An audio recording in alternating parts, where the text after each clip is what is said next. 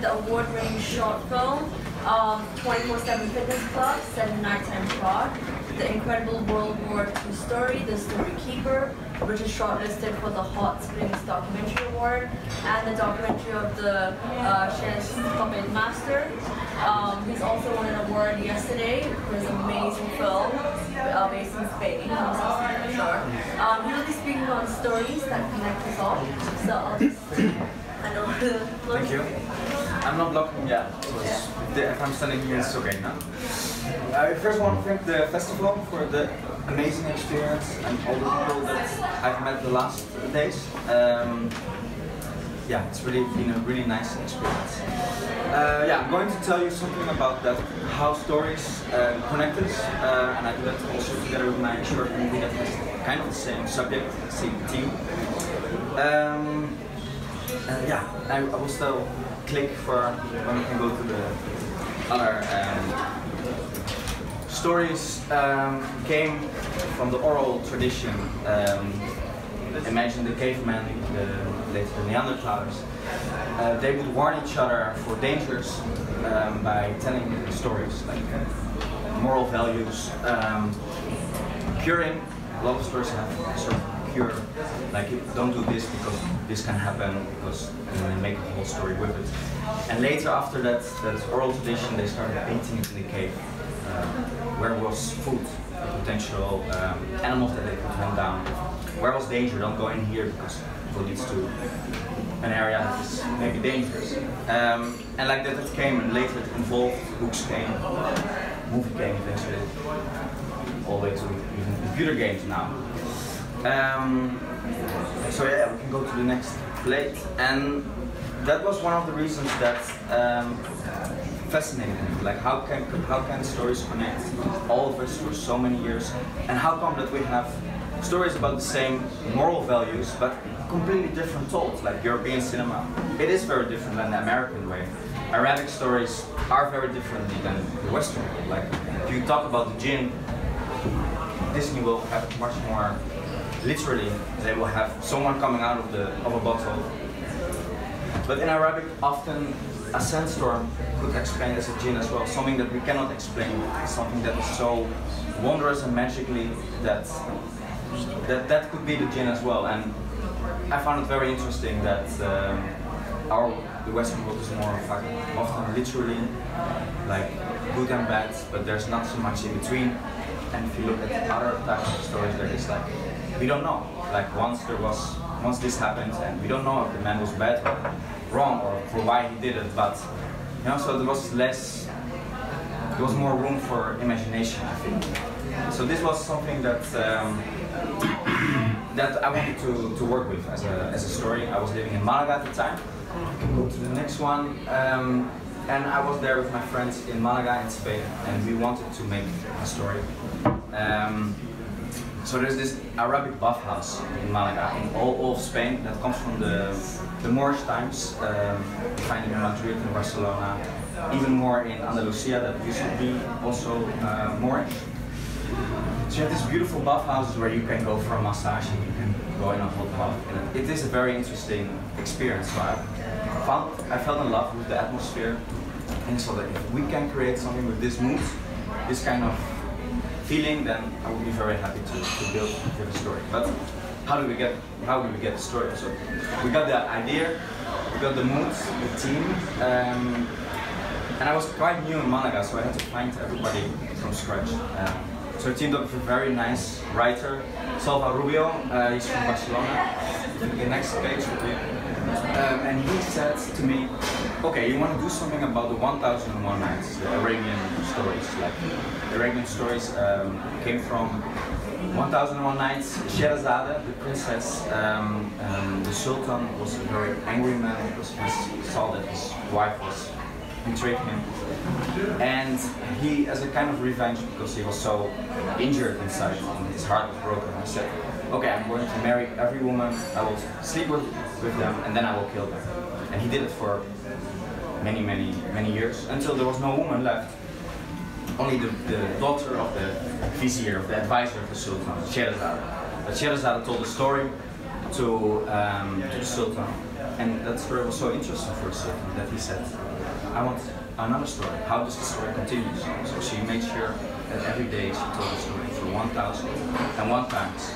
And then the story was healed because the story talked about the good, the, the bad, the values, um, and it was a curing, curing way for, for the story. And then she came to Arabian Night. So we wanted to do something with 1001 Nights and Arabian Night. Salva Rubio, the writer, he said to me that Andersen was a great, he's a great writer, but, and he was one of the first travelers in our history uh, that also wrote about the struggles. Um, he's, he's from Denmark, he has been in Paris, he has been in Rome, he's been in all these fantastic cities, but his favorite city was Malaga, which was not a beautiful time, a beautiful town at the time. Industrial Revolution, 1800s, he wanted to go to Morocco because he was in love with the Arabian Nights uh, stories, the 1001 Nights. He was in love with the, those stories when he was a child. His father would to him. So he went to Malaga because Morocco was actually very dangerous at the time, so he didn't want to he didn't want to, to go there. I told this in Morocco for a festival and they were laughing so much. Imagine that you wouldn't uh, you wouldn't want to. Um, but yeah, finding Andersen. So we had a story. We wanted Hans Christian Andersen in Malaga that was historically accurate, and then we could fantasize more about what would happen inside the palace and the bathhouse. But yeah, finding finding Andersen was very difficult. If you put one, go one more back, the um, finding Andersen was very difficult. We started with a casting agency; they couldn't find anything. We had many many people. Uh, similar, but it was not him. And then we found Ken Appledorn, a very interesting actor, doing a lot of Netflix shows. At times, even hard to contact him now. He, he retweets and shares our posts, but to talk and with him it's very difficult. So it was really nice, and he looks similar. Like this is Hans Christian Andersen. This is, I mean, to me it was like it was like the president. And this guy was living in Sevilla, which is only one hour away, more or less, from Malaga. So it was and he was speaking perfectly English because he comes from uh, America. He was uh, married with uh, someone from Sevilla. So he was there and he wanted to do it. So it was really, really, really nice. Then we wanted to find Sherazade. And Sherazade was yeah, a very intelligent woman. She was reading a lot of books. She was very philosophical. So it was very difficult to find a person that could become like she had to be beautiful, she had to be she had to be a good actress, um, and also she needed to have for our short film something that is someone that people would recognize because short films they have a very small lifespan. So you want to have some people that recognize your actors in order to, to get more doors open, to get more. So we found uh, Nuria Fergó. Uh, she's a singer, also actress, but more singer. But she is the person from Malaga. Like you say Malaga and you say Nuria. She wanted to do it straight away. Like she was really in love with the stories from 1001 Nights. So that story connected with her, and she said, "Okay, I will learn English to, to be the to take the role on uh, Sherazade, which was a huge difficult task for her in her busy career, but she wanted to do it, which was really, really nice. So we had these two, these two, these two actors, and we started filming in, I think, almost two years ago now. It was November. It was already beginning a little bit of cold.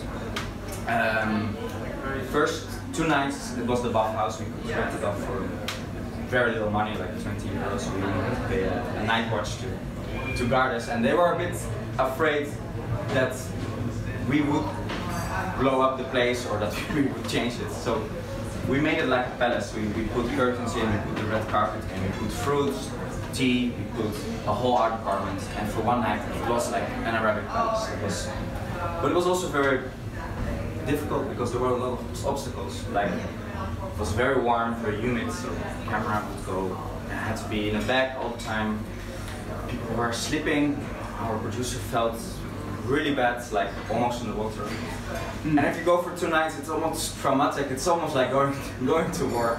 So in one moment, I saw like one wire laying in the swimming pool, and I said, "Oh my god, we are all being electrocuted." but I didn't see that it was actually it was not plugged into the electricity. Because, but you think like, what's going on? You you cannot think clearly after such a time. So, but we managed because we got a really good team and we were we were supporting each other because we also found out that we have to in order to, to make this in such a small period of time. Um. Um, yeah, one of the reasons how we could find a crew was because of that story.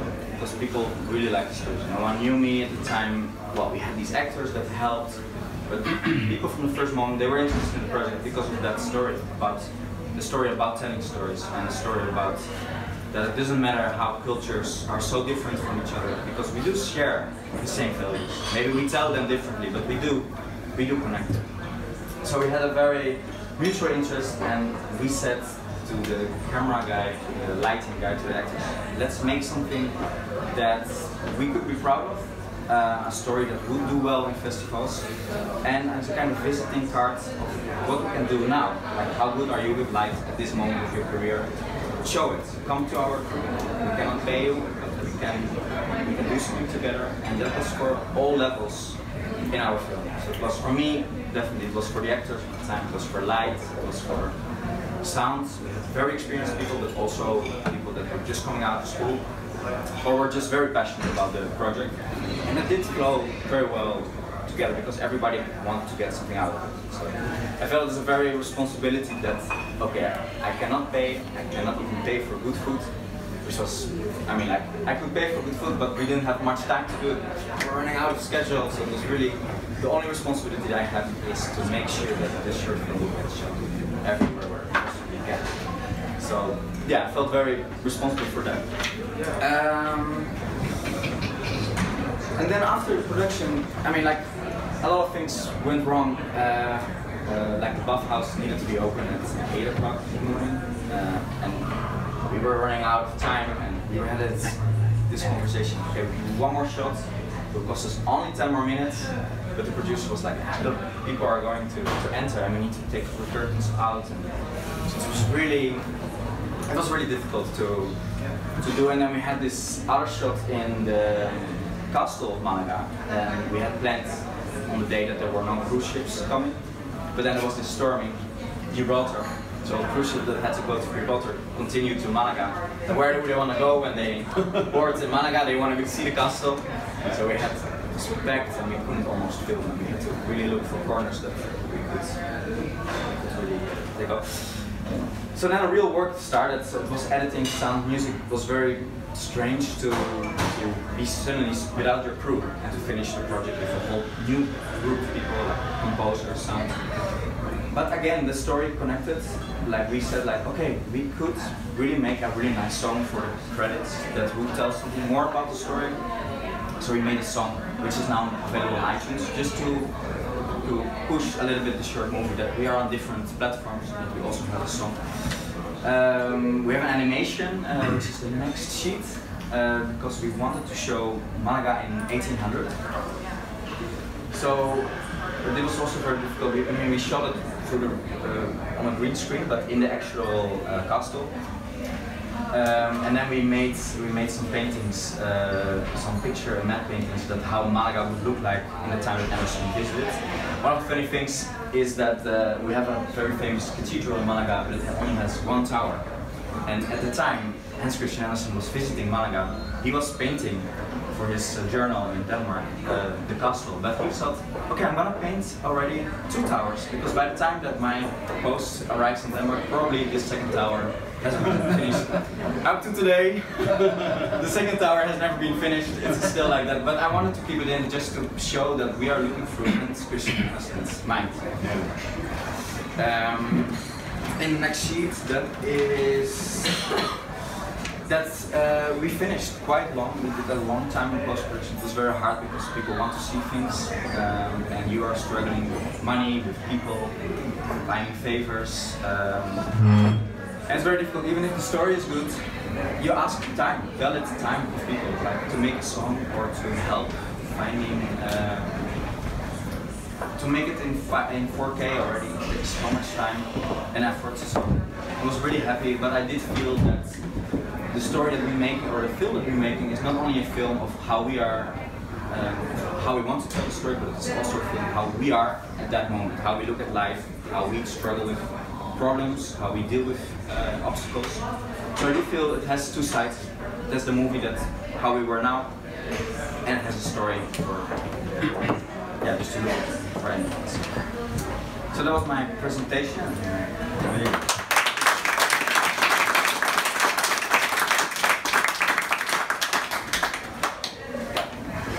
How much do you Uh, yeah, we have we have tried to do it under ten thousand, but if you also count all the favors that we got, yeah, much more, much more. out of. Yeah, it's like uh, start counting all the hours that people did. Yeah. Um, good questions? Um, yeah. I was wondering, you are, uh, you made a film about Hans Christian Andersen. Is Yeah. your film have, uh, has been, been screened in Copenhagen? Not yet. We are working now. We are uh, sent some letters to the Denmark Film Festival and in Odense. And we're still waiting for uh, for a reply for, for that. Yeah, yeah, yeah. It would be very interesting. It would be uh, nice, yes, I think so, because Hans Christian Andersen lives in Copenhagen, so it was, he lived there. Yeah. So it is really nice, you know, if you could Yeah. do that, go there and see, see his place where he's lived, he lived Yeah. also. That, that's very interesting. Yeah. Thank you. You can sell it to that museum for big bucks. Yes. Yeah, I think so. yeah. Yeah. That's an interesting. one. Yeah. yeah. Anyone else? And the airlines. And the airlines. Yeah. How can we, uh, I didn't get the chance to see your movie yesterday, how can I? I can give you a link. Uh, we are working with distribution, but we want to wait a little bit more in order to, to show it more festivals. But I can give you, give you a link. Yeah. Got it. Are you working on anything? Yeah, we are working on several things. One of the things is Hans Christian Andersen visited so many places, and there would be maybe something that you that we can do. Maybe like a series. That would be interesting, but the Malaga, the connection between Arabian Nights, uh, Malaga, and Hans Christian was so unique. I don't know if you can find it in another place like that. So, but yeah, we're working on it. Yeah. So thank you so much.